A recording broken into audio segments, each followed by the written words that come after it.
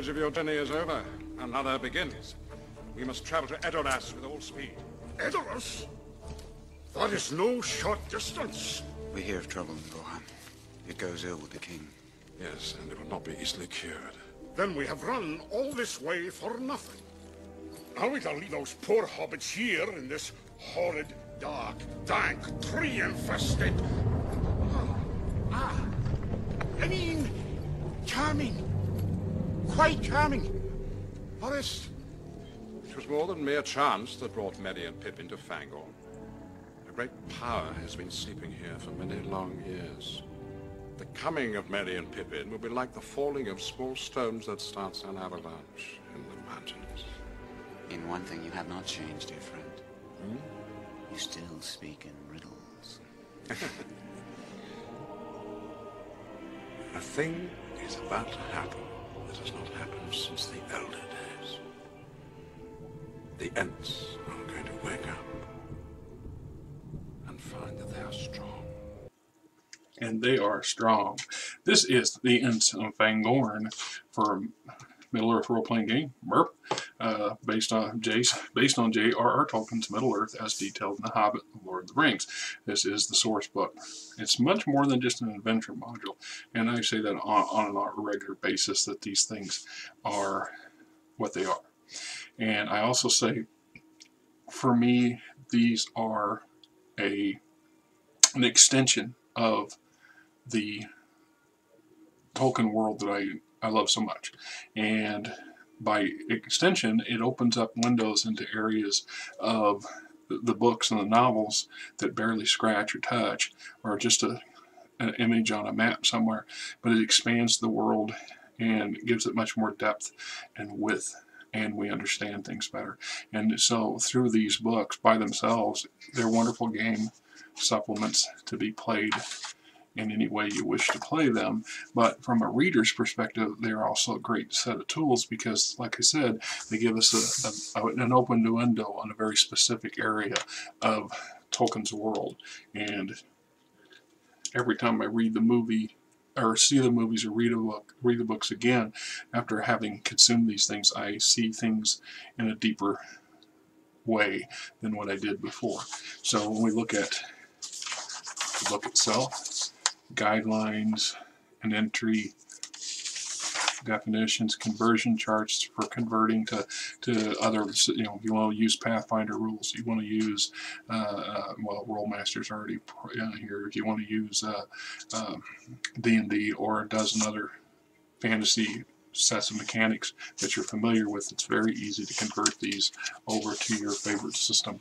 So converting spell lists, locks and traps, in introduction, this work focuses on the huge wood that lies along the southeastern flank of the Misty Mountains. The Sylvan realm is commonly called Fangorn, after the great Ent, the men known as Treebeard. Elves speak of the forest as Terranormor, the Black Forest, while men of Rohan simply call it the Entwood. Uh, we've got an overview,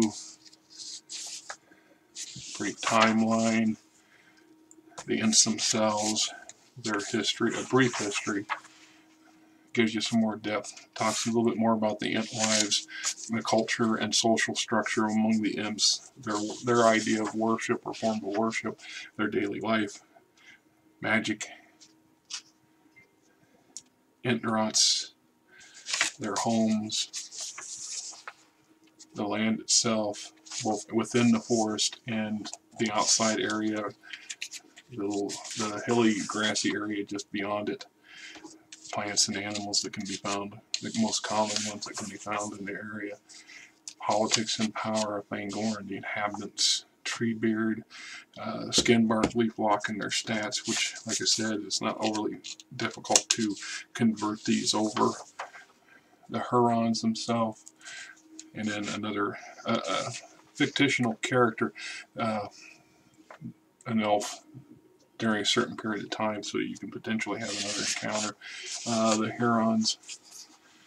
The Huorns are tree spirits, as they're sometimes called, are an unknown origin. Several theories that put forth to explain their beginnings. One states that they are ants and they've lost track of their cultural heritage and become dormant, but not completely. Other states they're trees that become entish. That's my personal view. I believe that they're just being around the ents and the the ent magic per se and the ent's attention for eons or millennia have caused certain amount of trees to kind of wake up. Uh, To rouse deep topic with an alpha merc, but it's possible if one can imagine the ents reproduce much like plants they resemble. If this were the case, then they might be also possible that an ent could cross-pollinate passively with a tree that is similar to it in structure and produce half ents.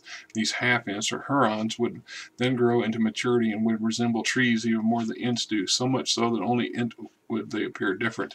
To the untrained eye, they would just be trees course, the explanation might by Radagast is pure conjecture based on few facts, etc., etc. Uh, this character here, Fangorn during the year Third Age, 20, 2759 and 3019. This is the the years that uh, lead up to the the War of the Ring. Fangorn after the War of the Ring.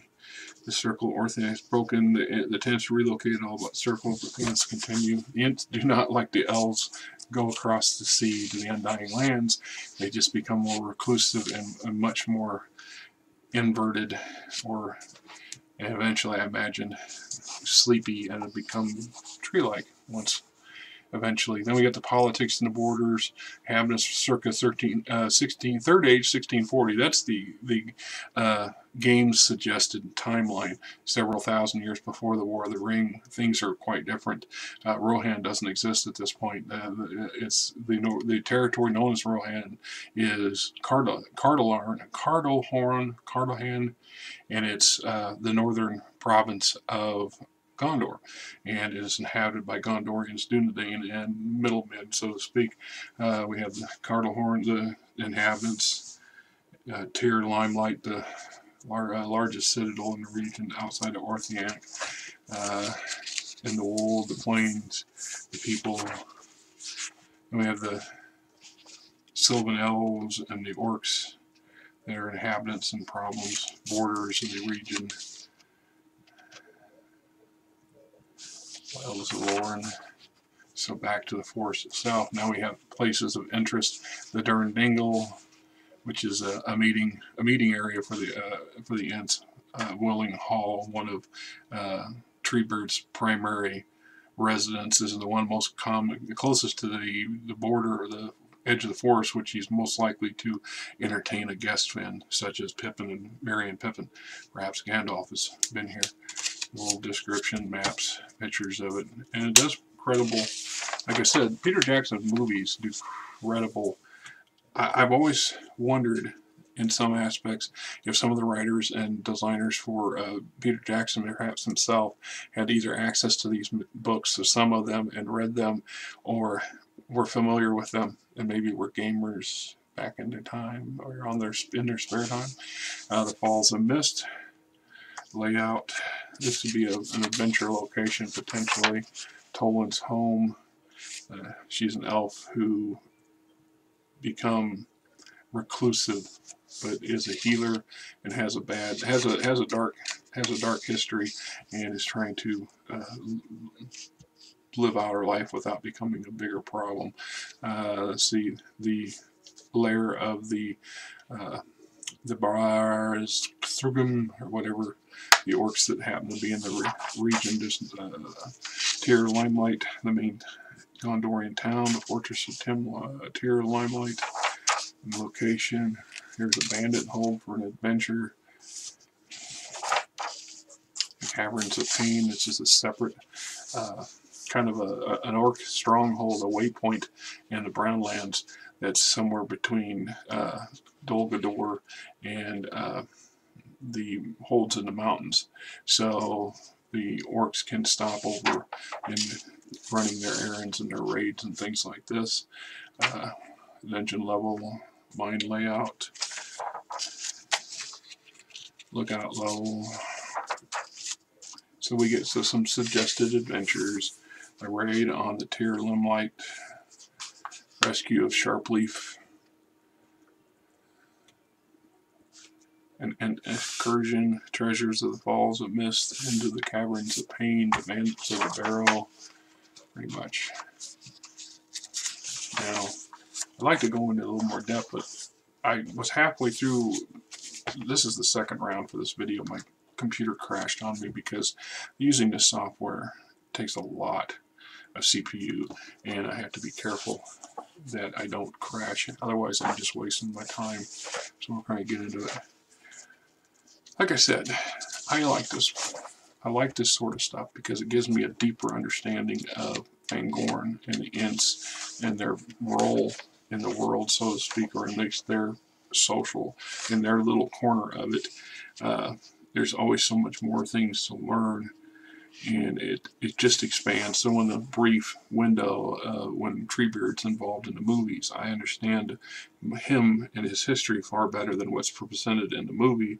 And and in the book, this is considered beta canon. It's not uh, Tolkien approved per se, but it definitely is written with the flavor and the ambiance of Tolkien's works. This is Middle Earth in detail.